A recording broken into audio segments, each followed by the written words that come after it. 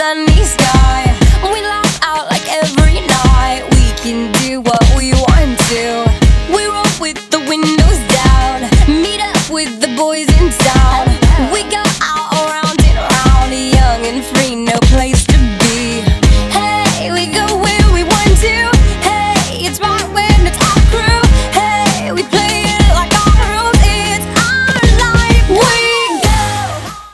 guys, welcome back. This is gonna be a back to school makeup and outfit idea. I know most of you already went back to school, but uh, yeah, last couple of weeks have been really rough around the house with some viruses and then the back to school. So, in this tutorial, I'm gonna share most of the products that are gonna be Mary Kay products, so they will be listed in the description box down below.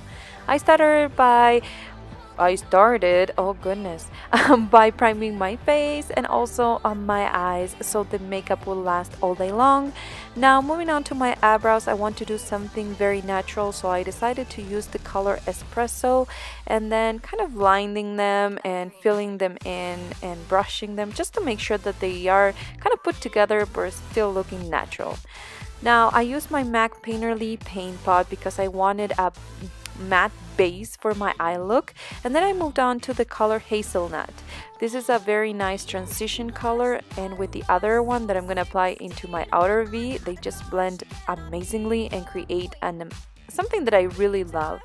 Now I'm gonna blend that eyeshadow really well with a just fluffy blending brush and then I'm gonna move on to the color Espresso. This is the same one that I use on my eyebrows and I'm gonna apply it only into my outer crease. I'm not gonna go under my crease but I want to make sure that I create that light to dark color these two eyeshadows uh, let me tell you they're amazing and they work very well together. Now I went back to the color hazelnut and that fluffy blending brush and I'm just gonna blend those two colors together.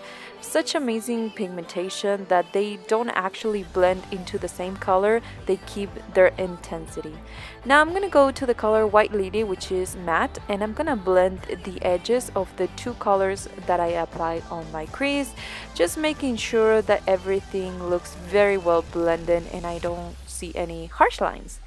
Now I'm going to go back to the white lily color and with a flat uh, shader brush I'm going to apply this more intensely into my lid area. I want something really white and something that it will make my eyes look more awake kind of lost a little bit of the espresso so I went back a little bit more and blended that into my outer uh, V or actually the crease. Now I'm gonna line my eyes because I have small eyes and if I don't do that at least a very thin line um, my eyes kind of disappear. Then I apply a coat of mascara and you can leave it there or you can apply falsies. I'm gonna apply falsies for this one because my lashes are non-existent. Now since I'm not gonna put too much drama into my lower lash line I decided to use a really good kind of concealer, something that it's gonna blend into my skin. It's not gonna look too dramatic, but then at the same time, it's gonna hide all my dark circles, and this is in the color beige 2. Now, since I wanted to look very natural, I took my time and blended it very well. Now I'm to apply my number 11 lashes by Kiss. This ones look very, very natural. And I don't even apply mascara on top of them because I do want them to look that way. For uh, my foundation, I didn't want to apply something too heavy, so I decided to go with the CC cream and just blend it into my skin with my buffing brush from Real Techniques. This gives me a lot of coverage without looking cakey.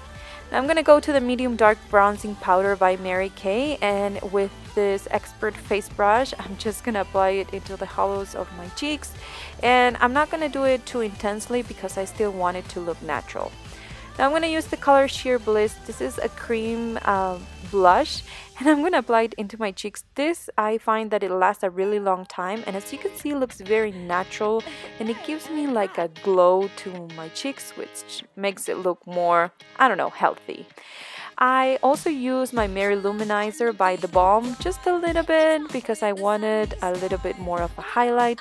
And then I set my foundation or the areas that I tend to get oily with my translucent powder by Mary Kay and this brush by Real Techniques, which is the blush brush. I don't know why, but I love it for powder.